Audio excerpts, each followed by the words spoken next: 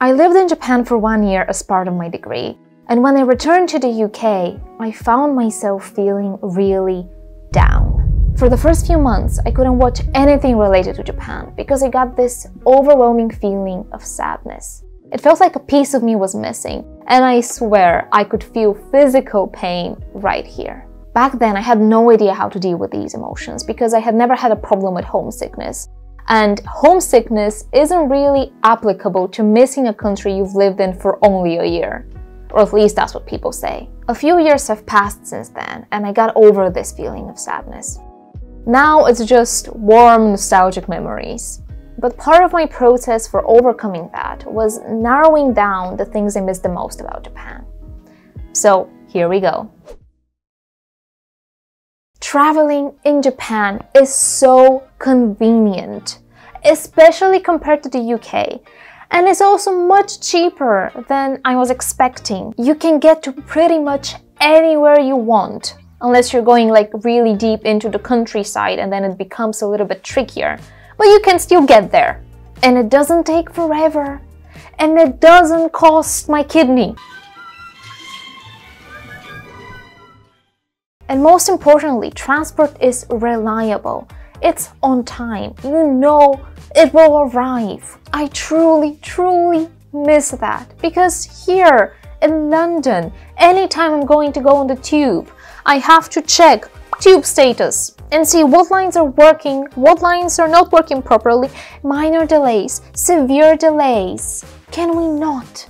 Why can't things just work here? Anyway, that this is not a UK rant, but I also hate how I have to add like, let's say 15 minutes of extra travel time whenever I go out, just in case something will go wrong. And I also miss the jingles. All the jingles. It was so fun. It, it kind of cheers you up. Why can't we have jingles in the UK? Or in Bulgaria? Why can't we have jingles? It's only the warnings of like train approaching or stay behind the yellow line or mind the gap between the train and the platform. Ugh. But here's the thing, it's not only the affordability and the reliability of the transport system in Japan that makes you want to travel more.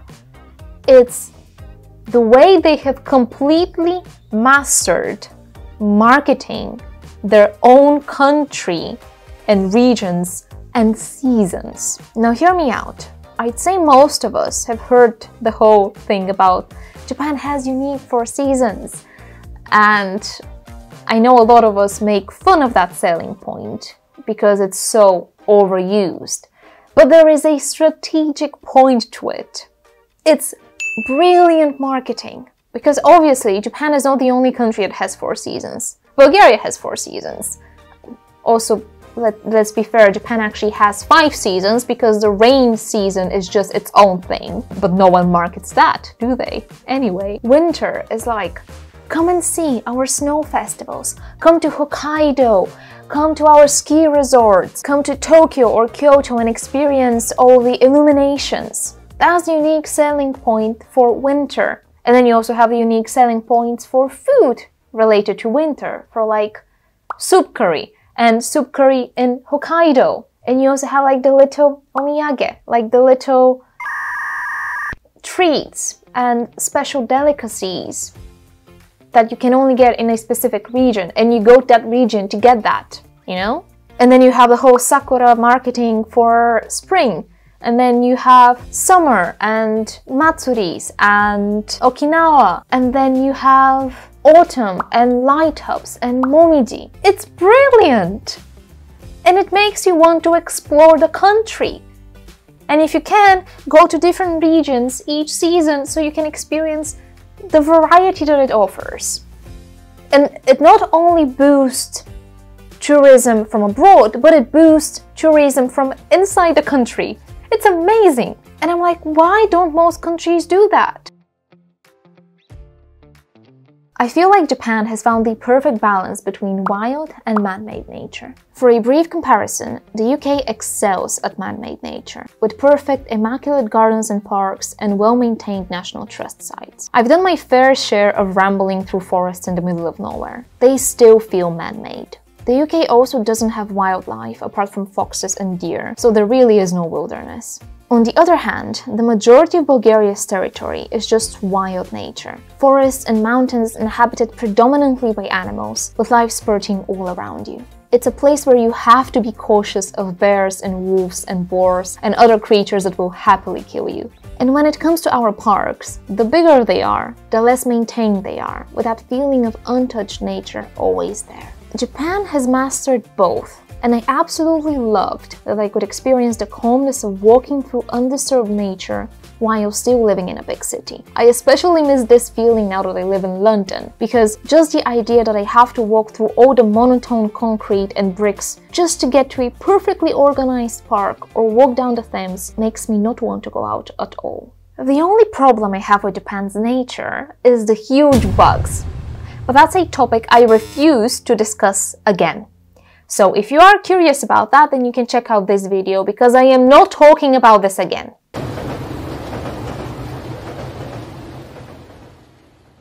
I also really miss the silence on trains. And I don't just mean the people being quiet. I mean that the trains aren't obnoxiously loud. Victoria Line.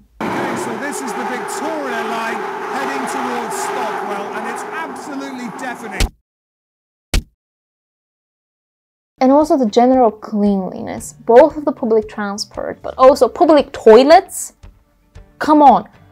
They were so clean. I miss not going into a store and having to check how clean it is and then deciding if I'm going to use that one or I have to move to another one. Because here in the UK and also in Bulgaria, whenever I go to public toilet, I'm like, is this okay? No. Is this okay? Mm, is this okay? Hmm, is this okay? Yes. In Japan, it was just like, open the door, it's perfectly fine, I use that one. Come on! Come on, pro- just, just be clean. Why is it so hard for people to be clean?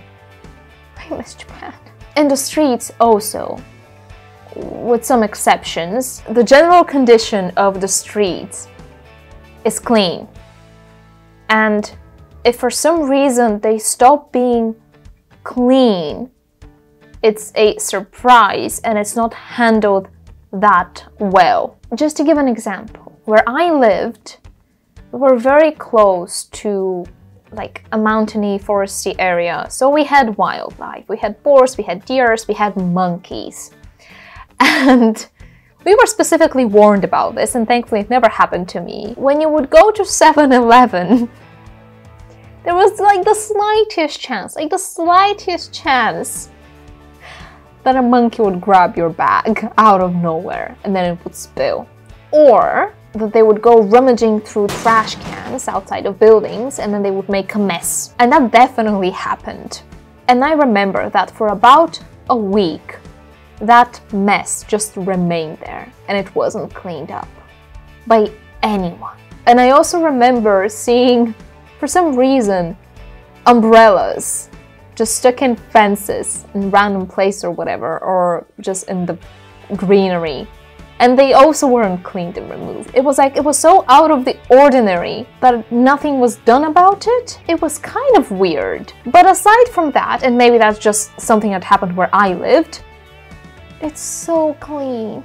And people were just generally respectful and polite. And it was nice to be greeted with a smile when I went shopping or when I went to do administrative stuff. And people would also be respectful to your personal space to an extent.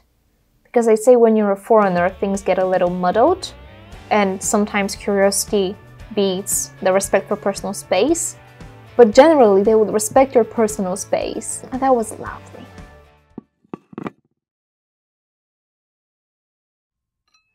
The care that they put into the food and into the service that they provide is just on a whole different level. I don't think I've ever had a bad meal in Japan, except for when I went to a more Western restaurant and the combination was just odd, or when I went to a ryokan and the food was just, again, odd like not something I would eat. Like a jellyfish, something. Oh, no.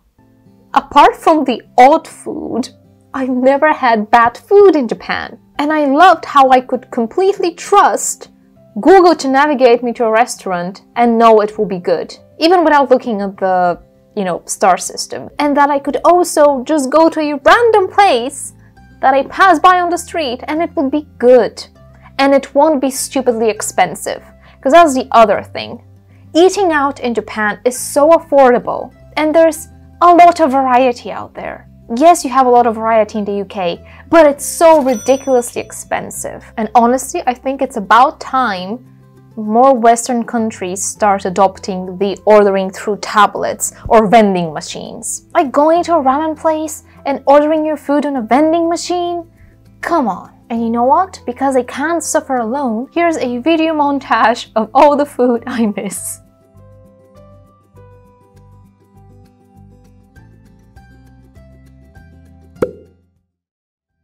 How have I ever lived without kombinis and why am I continuing to live without kombinis? Explain this to me. Why isn't kombini a standard for everywhere in the world? No, local supermarkets don't count.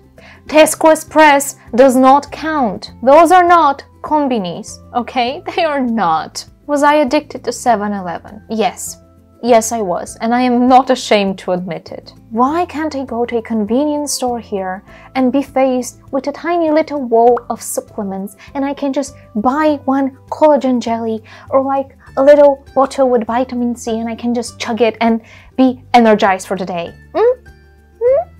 For like, what, 150 yen tops? I don't know how inflation is affecting prices in Japan now but I'm pretty sure when I was there, it was at about like a hundred yen or a hundred and something yen. And no one can convince me that a meal deal can beat an onigiri.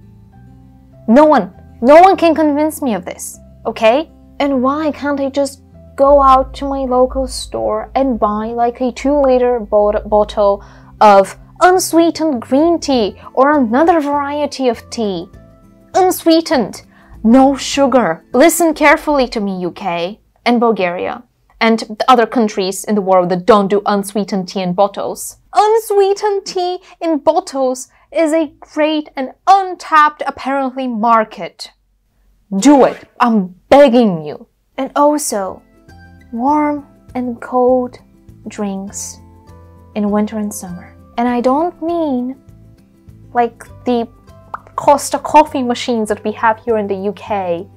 You know? I mean like the bottled bottled coffees, teas, whatever, put into a warm how do you call that?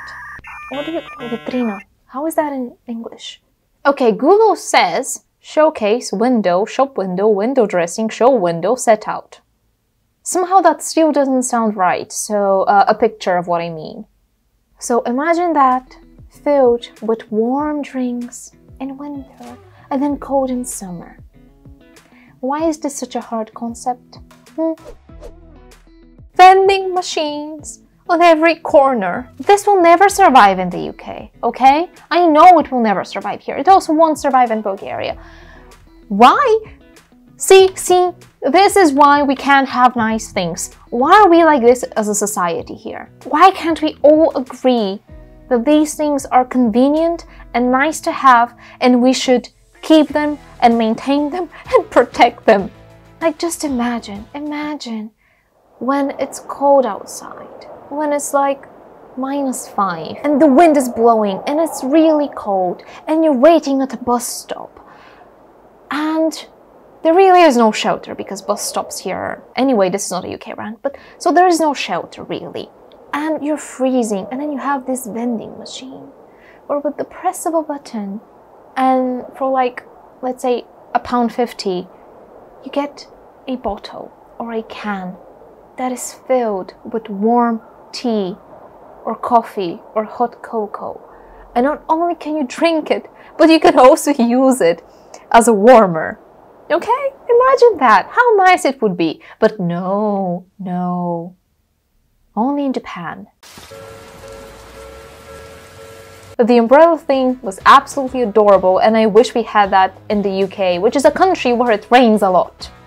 And it still, no, it does make sense why we don't have that here, because umbrellas will just get stolen, because that's the country we live in. But what I mean by the umbrella thing is that you've probably noticed that in front of combinis, in front of restaurants, they have like these little umbrella holders. And you just leave your umbrella there and you go do your shopping and you're eating whatever. And then you come back and you take that umbrella and you go on your merry way. You don't drip water across the floor. You don't get water on your clothes as you're trying to hold it and do your shopping at the same time. It's just there waiting for you and yes, sometimes someone will take your umbrella by mistake because most of the umbrellas kind of look alike. And by that I mean they kind of go with the see-through umbrellas. You know, with the white or black handle and then it's just kind of see-through and that's like a very typical umbrella that you see there. So they all kind of look the same. But hey, someone's taking your umbrella and then you're just taking someone else's umbrella and that's just how it works. And I think it's a great system. Now, I will explain this through K-pop concerts because that's the only actual comparison I can make. So I went to five K-pop concerts in Japan.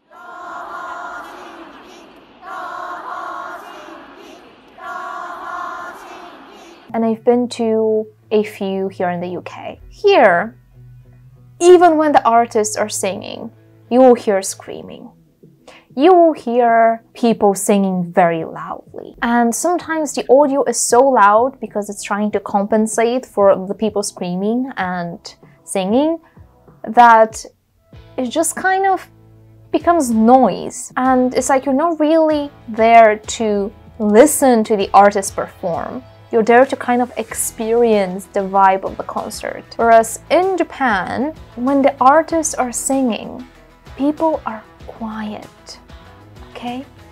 There is silence with the occasional maybe humming. And yes, sometimes there will be like a scream somewhere in the distance or near you or whatever, but it's not like all the time.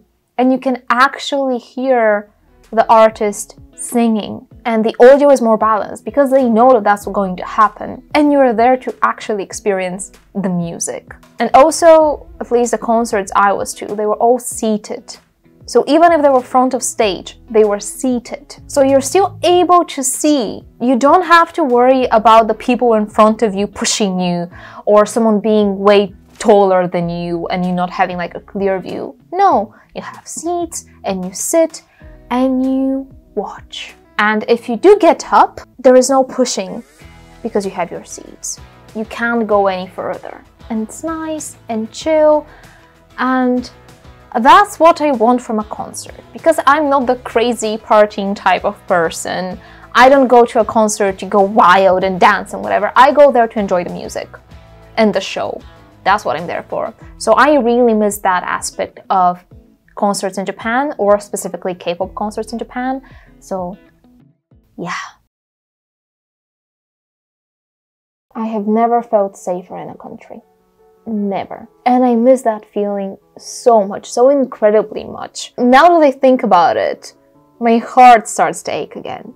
Just for that feeling of safety. Because I had absolutely no problems traveling alone. I never felt threatened in a way. I mean, of course, I was always cautious because I know I have to be and there's no way to shut that brain that part of my brain down but i felt so free when I was traveling. I can't even imagine traveling by myself in the UK, or walking at night by myself, or just with another girl.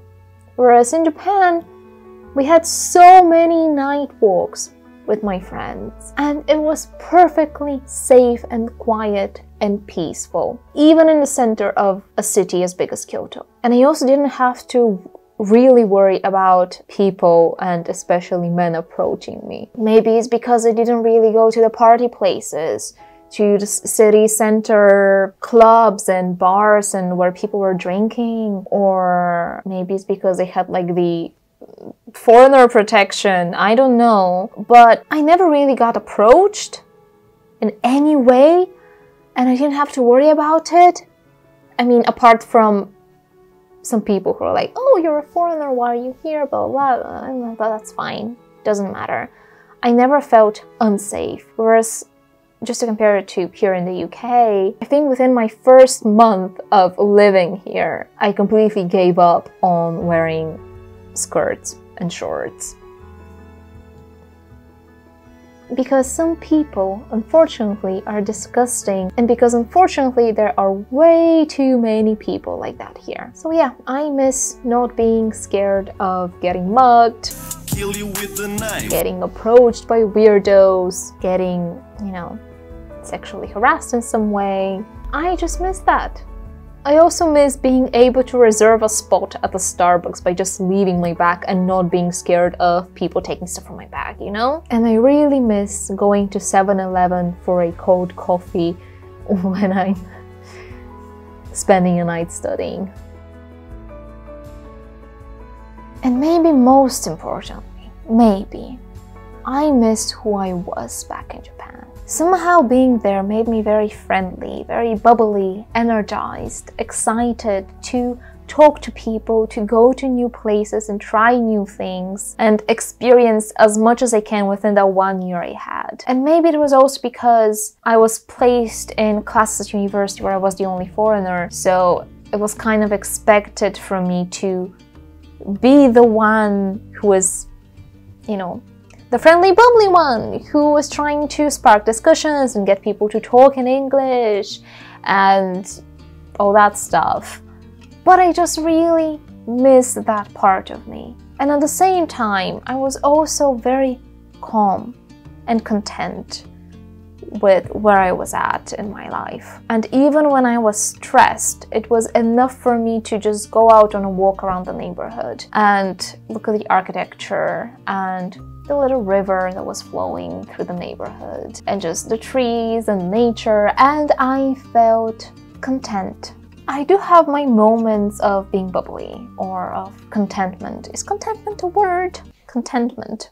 Yes, it is. Anyway, so you have moments of those feelings here in the UK. I also have them in Bulgaria.